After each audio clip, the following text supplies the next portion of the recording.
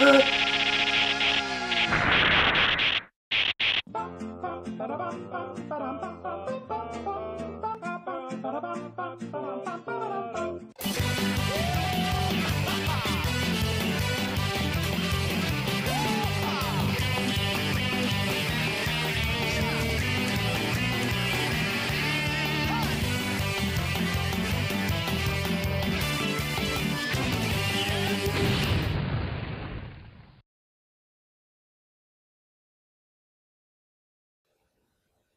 Je crois que je vais annuler ma vidéo sur Mortal Kombat. Quel est le point commun entre la stratégie produit de Capcom et celle de Disney? Dans les deux cas, on voit souvent revenir les mêmes produits et à chaque fois ça semble marcher. Si, les Disney c'est pratiquement toujours pareil. Bonjour, je suis une princesse, mais ma baldoche elle fait rien que de me faire chier. Bonjour, je suis une princesse, mais j'ai une queue de poisson, exactement comme les morues et les thons. Bonjour, je suis une princesse, mais je dois être complètement bourrée parce que je passe mon temps à dormir comme une grosse truie. Bonjour, je suis une princesse et j'ai des cheveux longs comme ta Bonjour, je... Euh... Qu'est-ce que je fous là, moi? Bonjour, je vais devenir une princesse en épousant un gros boudin. Moi, je vais m'en trouver un trop classe, mais en attendant, je passe le balai en chantant parce que c'est ma condition de femme qui l'impose. Bonjour, je suis une princesse et je crois que je suis la reine des neiges. En fait, j'en sais rien parce que l'autre, il a toujours pas regardé le dessin animé. Non, toi, tu es le résultat d'une de ces promos à la con, une achetée, une offerte. Faux connasse Tu es le fruit d'un lobby visant à rabaisser la femme à un rôle vulgaire en la présentant comme un être impossible de prendre son destin en main sans avoir avant l'aval d'un homme stéréotypé par son envie d'accéder au pouvoir à travers toi Et moi, je vous pisse à la gueule Certains studios essayent de faire pareil, mais généralement ça merde complètement. Exemple en film avec Darkman 2, qui était franchement à la traîne si on le compare avec son modèle, alors qu'il reprenait globalement le même schéma. Et exemple en jeu vidéo avec Endless Ocean 2, qui est loin de s'être aussi bien vendu que le premier jeu de la série, malgré une réalisation à la hausse et une expérience globale toujours aussi agréable. Comme quoi, il n'y a pas de science exacte à ce sujet. Vouloir comparer Capcom et Disney en première instance n'avait pas uniquement pour but de vous faire réaliser à quel point mes filles ont trop de jouets qui ne servent à rien. Euh, papa? Ah, ah, ah ouais, non mais là c'est pas pareil. euh, Ouais, bon, ok, 1-0, balle au centre. Il y a réellement un lien plus profond entre les deux groupes. Croyez-le ou non, mais Capcom n'a pas toujours eu la vilaine manie de prendre le joueur pour un crétin fini. Si Disney arrivait à anticiper sur les désirs des spectateurs en matière d'aventure en dessin animé, Capcom n'avait pas son pareil pour produire des jeux vidéo de qualité adaptés de ces mêmes aventures. Alors je n'ai jamais su pourquoi, mais Capcom a pendant longtemps exclusivement sorti ses jeux sur la 8 bits de Nintendo. Pour être même tout à fait sincère, je ne faisais même pas attention aux développeurs de ces jeux, mais une chose était pourtant évidente. Avec eux, on passait un bon moment. Capcom s'était également fait un nom avec la série Megaman. À titre personnel, j'estime que l'apogée a été atteinte avec le deuxième jeu de la série, mais les autres avaient tous pour mérite d'essayer de se renouveler et d'exploiter les caractéristiques de la console, ce qui n'était pas rien quand on sait à quel point elles étaient finalement limitées. Passage au format 16 bits. Capcom continue de développer des jeux inspirés de l'univers de Disney pour le compte de Nintendo. Cette fois, les jeux sont accompagnés d'un logo qui suffisait à lui seul à attester de la qualité de ce à quoi on allait jouer. De mémoire, je peux citer The Magical Quest, Goof Troop et Aladdin. On viendra me faire la remarque, donc j'en profite pour faire un hors-sujet.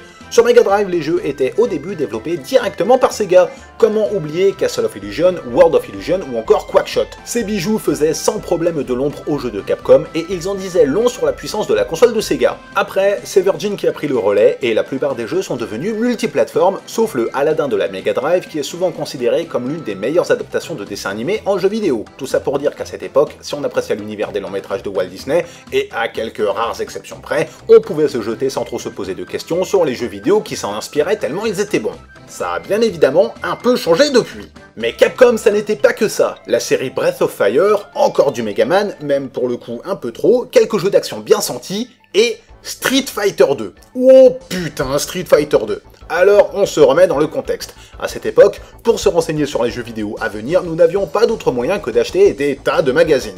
On y parlait souvent de jeux pour lesquels l'intérêt que j'étais prêt à y consacrer avoisinait celui que j'ai actuellement pour la formule brute de la bêta-carotène, c'est-à-dire pas des masses. Et parfois, sans qu'on sache trop pourquoi, un jeu sortait carrément du lot au point de devenir le sujet de discussion numéro 1.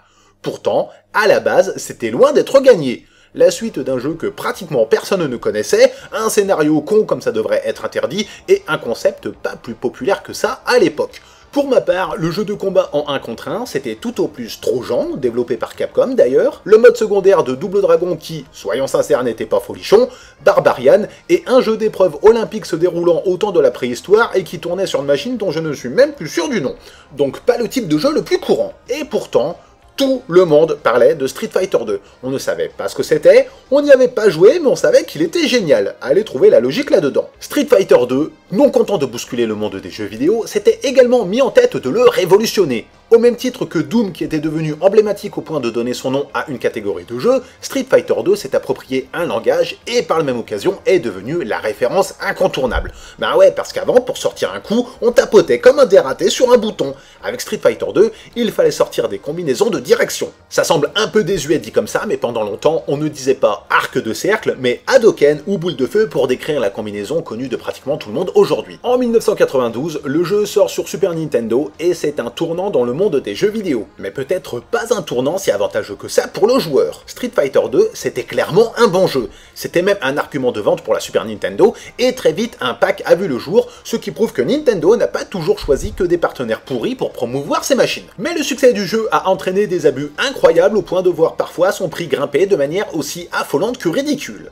Deuxième petit hors-sujet, vous avez peut-être regardé en entier une de mes précédentes vidéos dans laquelle j'abordais le concept du prix dans l'univers des jeux vidéo. À un moment, je parlais de ces jeux dont le prix était élevé mais qui se vendaient quand même sans difficulté. Ben Street Fighter 2 en faisait partie. En guise de rappel, la Super Nintendo était vendue avec un jeu dans les alentours de 1290 francs, soit environ 200 euros. Sans que ce soit vraiment la faute de Capcom, au tout début, des enseignes vendaient Street Fighter 2 pratiquement 650 francs, soit presque 100 euros. S'il n'y a rien qui vous choque, c'est qu'il y a un problème. Et ça, c'est authentique. À l'époque, il y a des mecs qui claquaient dans un jeu la moitié de ce qu'ils avaient déjà mis dans la console.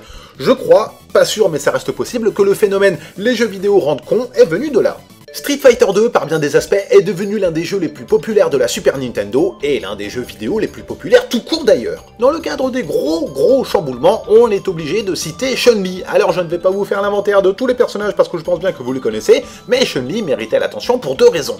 La première est que c'était mine de rien l'un des personnages les plus accessibles. Je n'ai pas dit plus puissant, j'ai dit plus accessible. Rappelez-vous qu'à ce moment, les jeux de baston, ce n'était pas trop ça. Donc pour sortir un coup, parfois, il fallait y aller. Ben pour elle, appuyer comme un goré sur un bouton suffisait à terrasser les adversaires les moins futés. Le gros sumo japonais avait un coup similaire, euh, mais justement c'était un gros sumo japonais. Ce qui m'amène à la deuxième raison. Dans un jeu vidéo, la femme avait la plupart du temps le rôle de la gourde de service qu'il fallait délivrer. L'exception à la règle était Metroid, mais des tas de joueurs ne s'en étaient jamais aperçus, donc ça ne compte pas. Bien avant Lara Croft, Chun-Li est devenu un objet de fantasme et pouvoir coller une branlée à un gros catcheur avec un petit bout de nana du groupe sanguin Ah, c'était juste l'extase.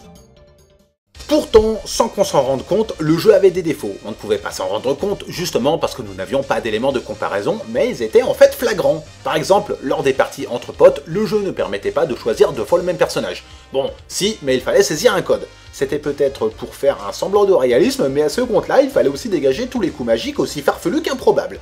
Les joueurs aimaient bien mesurer leurs forces, et pour ce faire, autant partir sur un pied d'égalité. C'est pour ça que ça a un peu gueulé à ce niveau. Autre truc tout bête, le jeu était aussi un peu lent. Et un dernier défaut pour la route, le twist final des 4 boss. Un twist final, c'est quoi? C'est quand il vous arrive un truc que vous n'aviez pas du tout vu venir et que ça vous laisse sur les fesses tellement vous êtes abasourdi.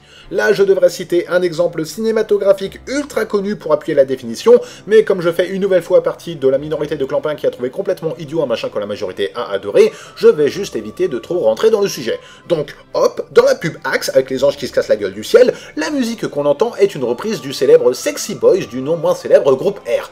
Ce n'est pas du tout un twist final, mais si ça se trouve, il y en a qui n'avaient pas remarqué. Et si ça se trouve, il y en a encore plus qui ne savent pas du tout de quoi je parle, à commencer par moi-même.